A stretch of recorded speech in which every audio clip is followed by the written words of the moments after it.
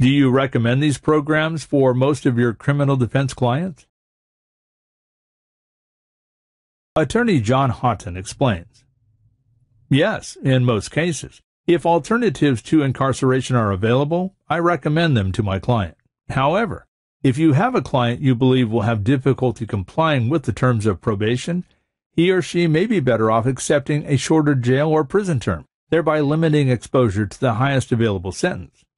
This is a decision the client must make for himself or herself. At Haughton Law Group, PC, our decades of legal practice means that we can analyze your case quickly and accurately.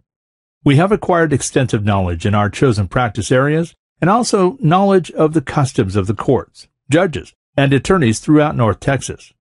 We work hard to resolve your cases fairly.